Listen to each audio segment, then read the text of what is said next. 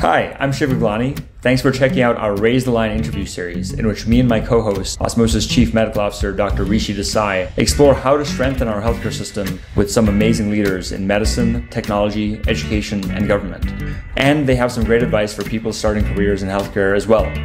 I hope you'll watch these highlights and then go listen to the full podcast interview wherever you get your podcasts. I'm Dr. Rishi Desai, and today on Raise the Line, I'm happy to be joined by two guests who work for the Jonas Philanthropies. Uh, the work from Jonas focuses on healthcare for nurses and veterans, children's environmental health, and the overall health of the climate. I'm really looking forward to learning more about what uh, Lendri and Althea have to say. Thanks for being with us both. Lendri, do you mind just walking all of us through the path you, you took to getting to where you are now as vice president? I have always had my heart in social service work. Um, I started with Teach for America. I was put in Oakland where I was a special ed teacher, got my master's and two teaching degrees. And I got a call from my grandfather that he was going to start a um, charitable enterprise. He was going to auction off some art that had appreciated in value that he'd been very proud of and had over the years. And as he was moving into retirement, he wanted to give back and do something um, great for the world.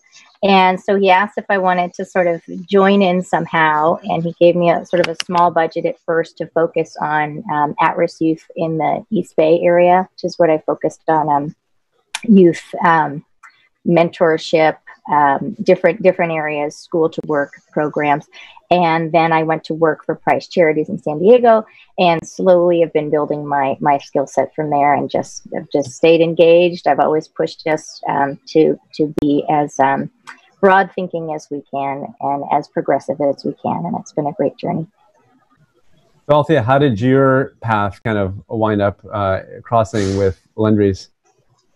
Well, uh, Rishi, my background is in public health. And so um, when I graduated college, I went and worked with Memorial Sloan Kettering Cancer Center, and there was a program with the National Cancer Institute. And then I also um, moved into grants management. So that's how I became involved in research. And then also I moved on to eventually work and uh, earn my master's degree in public health and my doctorate in education. And in doing that, I was looking for a position that actually allowed me to combine all of these skills together.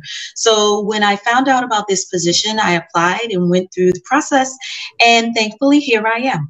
So that was a great experience, and it really has helped me use all of my skill sets from those areas. Uh, so with that in mind, I guess one thing I wanted to kind of flag is that a lot of our, our uh, learners or listeners are future care clinicians or they're going to be public health leaders like like the two of you are you mind just kind of sharing a little bit of advice perhaps for someone that's just starting in the field and they see the two of you are obviously well accomplished in, in your respective areas?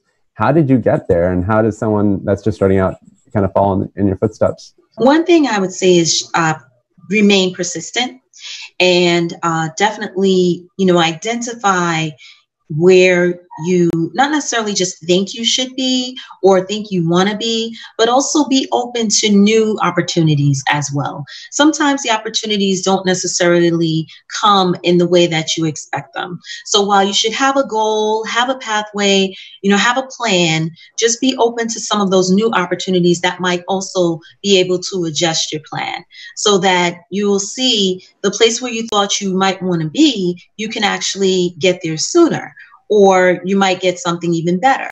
I guess what I would add is um, same thing, being really flexible. I thought I was going to do education, then this window opened to philanthropy, and now I've become sort of an, an advocate um, and an activist in environmental health. And and be open. You don't know where your path is going to lead, but cultivate mentors along the way, and make sure you're keeping a list of people that can support you, and keep up with those people because you never know when you're going to need help and support down the road. And so find your mentors. Thanks for watching this preview of Raise the Line. To hear the full interview, check out all of our podcasts, and subscribe to the series, please go to osmosis.org forward slash raise the line podcast or listen wherever you get your podcasts.